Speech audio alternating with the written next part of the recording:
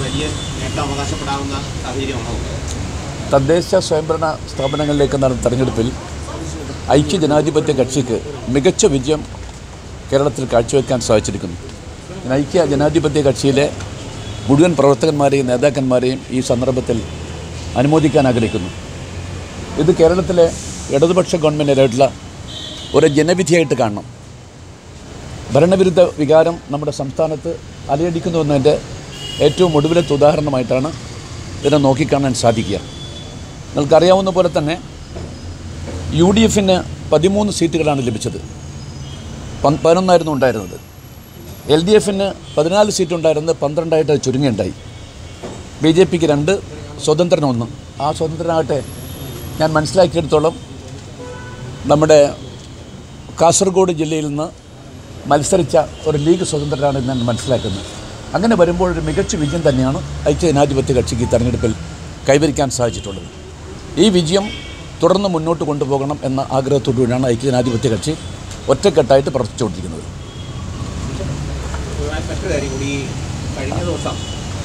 നമ്മുടെ ഈ പൗരത്വ ബില്ലുമായി ബന്ധപ്പെട്ട പ്രശ്നത്തിൽ യു ഡി എഫും എൽ ഡി എഫും സംയുക്തമായി സമരരംഗത്തുണ്ടായിരുന്നു. ഇത്തരത്തിലുള്ള സംയുക്ത സമരപരിപാടികൾ മുന്നണിക്ക് ഗുണകരമാണോ? അതോ അതൊരു അടഞ്ഞ അധ്യായമായിട്ടാണ് ഞാൻ പറയാൻ ആഗ്രഹിക്കുന്നത്.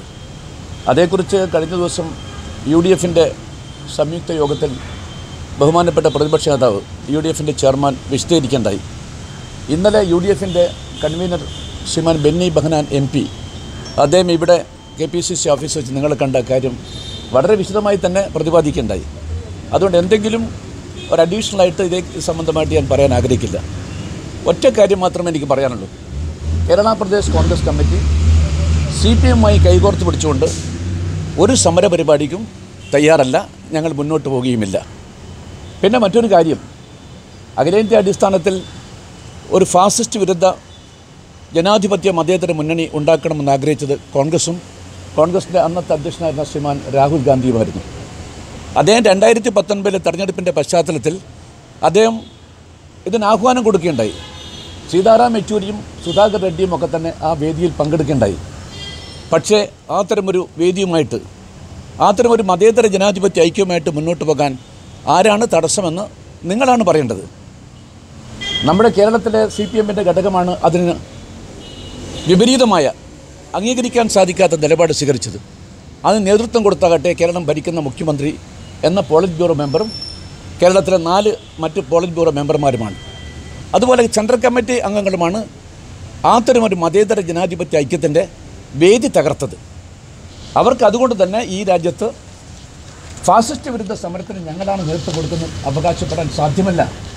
ഒരിക്കലും സാധ്യമല്ല. പിന്നെ രണ്ടായിരത്തി പതിനാലിലെ ലോകസഭയിൽ ഞാനുണ്ടായിരുന്നു എന്റെ അവസാനത്തെ ലോകസഭാ സമ്മേളനം അതായിരുന്നു.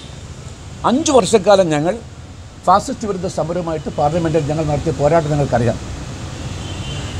ശ്രീമതി സോണിയാഗാന്ധിയുടെ നേതൃത്വത്തിൽ ശ്രീ രാഹുൽ ഗാന്ധിയുടെ നേതൃത്വത്തിൽ ഞങ്ങൾ നടത്തിയ പോരാട്ടങ്ങളിലൊക്കെ തന്നെ ഞങ്ങളുമായിട്ട് ഏതൊക്കെ സന്ദർഭങ്ങളിൽ ഇന്ത്യയിലെ സി പി എമ്മിന്റെ നേതാക്കന്മാരായിട്ടുള്ള എം പിമാർ സഹകരിച്ചു എന്ന കാര്യം അവർ വിശദീകരിക്കണം. ഞങ്ങൾ അതിശക്തമായ പോരാട്ടമായിട്ട് മുന്നോട്ട് പോയപ്പോൾ അവർ സ്വന്തം സീറ്റിലിരുന്നുകൊണ്ട് മന്ദഹസിക്കുന്ന കാഴ്ചയാണ് കണ്ടത്.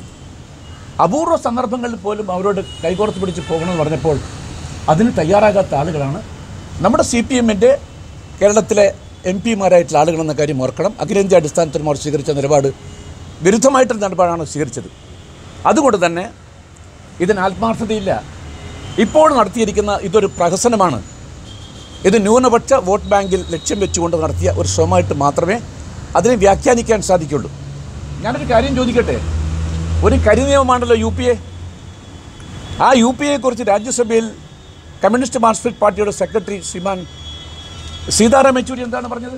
ഇറ്റ്സ് എ ഡ്രാക്കോണിയൻ ആക്ട് എന്നാണ് പറഞ്ഞിരിക്കുന്നത്. അംഗീകരിക്കില്ല എന്നാണ് പറഞ്ഞിരിക്കുന്നത്.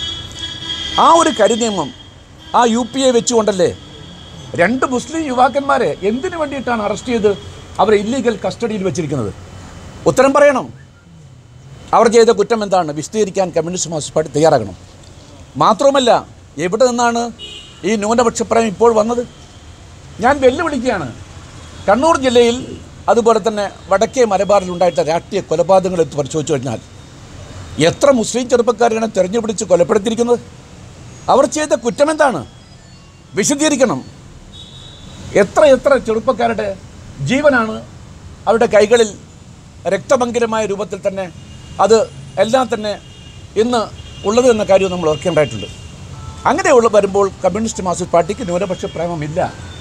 ഈ പറയുന്നത് കാപട്യമാണ്.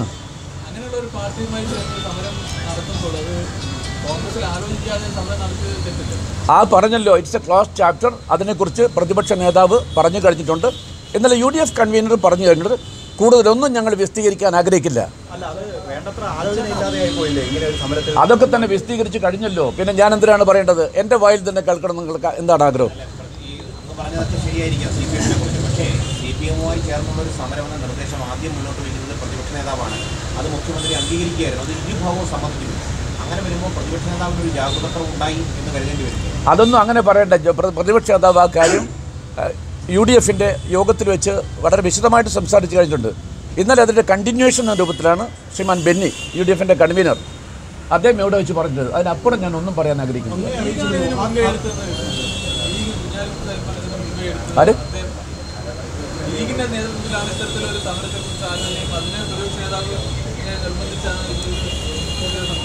എനിക്ക് അതേക്കുറിച്ചുള്ള വിശദാംശങ്ങളൊന്നും തന്നെ എനിക്കറിയില്ല. ഏതായാലും ഞാനന്ന് ഇവിടെ ഉണ്ടായിരുന്നില്ല. അതിലെനിക്ക് പങ്കെടുക്കാൻ സാധിക്കില്ല എന്ന കാര്യം ഞാൻ അറിയിക്കുകയും ചെയ്തിട്ടുണ്ടായിരുന്നു. അതുപോലെ എൽ യു ഡി എഫിന്റെ യോഗം അന്നും ഞാൻ ഉണ്ടായിട്ടില്ല. ഞാൻ ഉണ്ടാകില്ല പതിനെട്ടാം തീയതി മാത്രമേ ഞാൻ തിരിച്ചെത്തുന്ന കാര്യം ബഹുമാനപ്പെട്ട പ്രതിപക്ഷ നേതാവിനെ അറിയിച്ചിട്ടുണ്ടായിരുന്നു. ഞാനിത് പറഞ്ഞല്ലോ ഇത് സംബന്ധമായിട്ട് ഞാൻ കൂടുതലൊന്നും സംസാരിക്കാൻ ആഗ്രഹിക്കില്ല.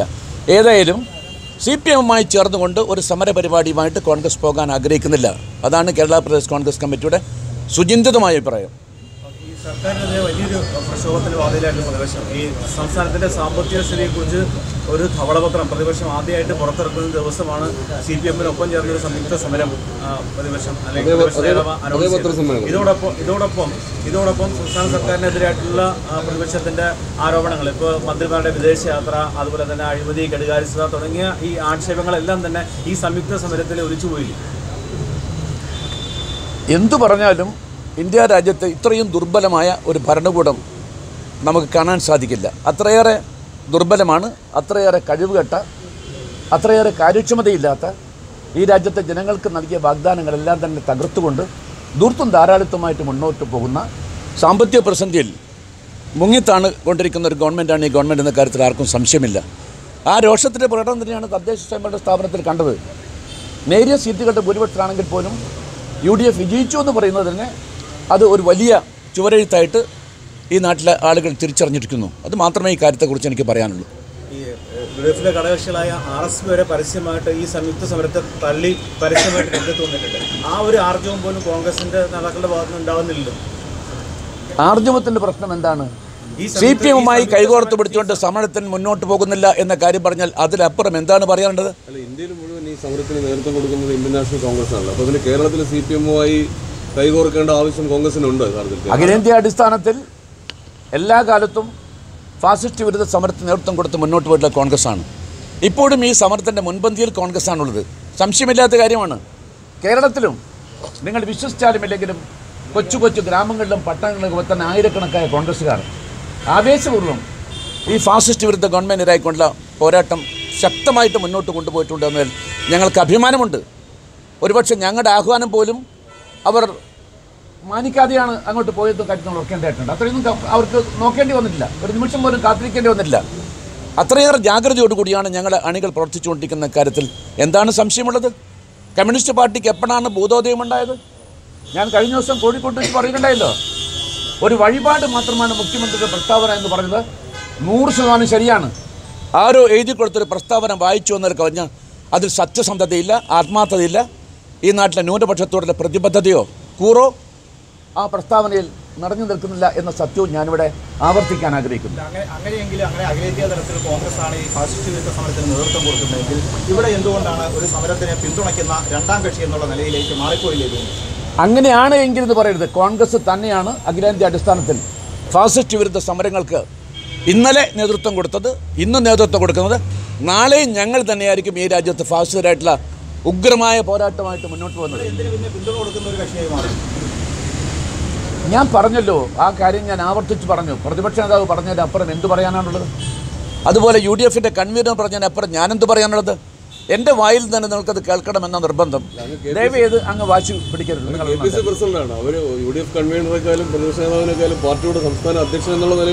ഞാൻ ആ കാര്യം വ്യക്തമാക്കിയല്ലോ. വരാൻ പോകുന്ന ദിവസങ്ങളിൽ ഇടതുപക്ഷ ജനാധിപത്യ മുന്നണിയുമായി കൈകോർത്ത് പിടിച്ചുകൊണ്ട് ഒരു സമരവും ഞങ്ങൾ നടത്താൻ ആഗ്രഹിക്കുന്നില്ല. പ്രത്യേകിച്ച് ഫാസിസ്റ്റ് വിരുദ്ധ സമരം. ഒരു ഫാസിസ്റ്റ് വിരുദ്ധ സമരത്തിന് മുമ്പിലും സി പി എം ഉണ്ടായിരുന്നില്ല. വോട്ട് ബാങ്കായിരുന്നു നമുക്കറിയാമായിരുന്നല്ലോ ബീഫുമായി ബന്ധപ്പെട്ട് നടത്തിയ മേളകളൊക്കെ നമുക്കറിയാം. ആ മേള നടത്തിയ ഉടനെ തന്നെയാണ് കണ്ണൂർ ജില്ലയിലെ പല ഭാഗത്തും പാവപ്പെട്ട ഈ രാജ്യത്തെ മുസ്ലിം സഹോദരന്മാരെ അവർ കത്തിക്കരിയാക്കിയത്. അതാണ് അവരുടെ ആത്മാർത്ഥത. ഇതൊക്കെ തന്നെ ആരെ വഞ്ചിക്കാനാണ്? തെരഞ്ഞെടുപ്പ് വരാൻ പോകുന്നു.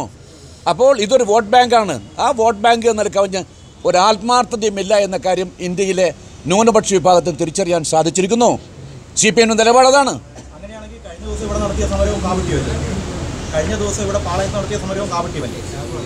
ആ സമരത്തെക്കുറിച്ചൊന്നും ഞാൻ പറഞ്ഞില്ല. ഞാനത് പറഞ്ഞു കഴിഞ്ഞല്ലോ. മുഖ്യമന്ത്രിയുടെ ന്യൂനപക്ഷ പ്രീണനം എന്ന് പറയുന്നത് കാപട്യമാണ്. അത് പ്രീണനം മാത്രമാണ്. ആത്മാർത്ഥത അദ്ദേഹത്തിന് ഇല്ല.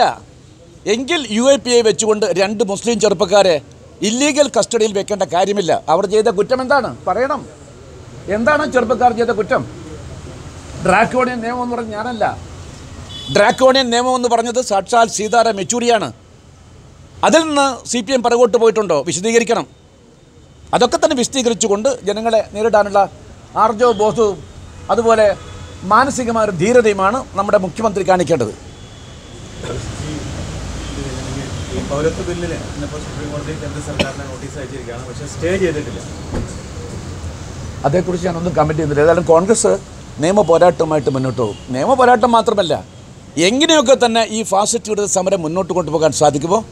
അതിശക്തമായിട്ട് ഞങ്ങൾ മുന്നോട്ട് അത് കൊണ്ടുപോകുന്ന കാര്യം സംശയമില്ല. എന്നാൽ സോണിയാജിയുടെ നേതൃത്വത്തിൽ ഇന്ത്യയിലെ പ്രതിപക്ഷ പാർട്ടിയുടെ നേതാക്കന്മാരെല്ലാം തന്നെ രാഷ്ട്രപതിയെ കണ്ടുകൊണ്ട് ഈ നിയമം ശരിയല്ല ഇത് ഈ രാജ്യത്ത് ഒരു പ്രത്യേക വിഭാഗത്തോട് കാണിക്കുന്ന വിവേചനമാണെന്ന് ശക്തമായ ഭാഷയിൽ തന്നെ ആവശ്യപ്പെട്ടിട്ടുണ്ട്. അതാണ് ഞങ്ങളുടെ പാർട്ടിയുടെ സമീപനം. അതാണ് ഇന്ത്യയിലെ യഥാർത്ഥ പ്രതിപക്ഷത്തിന് സമീപനം എന്ന് ഞാൻ പറയട്ടെ. ഒരു കാര്യം കൂടെ ഈ യൂത്ത് കോൺഗ്രസ് തെരഞ്ഞെടുപ്പിന്റെ കാര്യത്തിൽ എം എൽ എമാരെ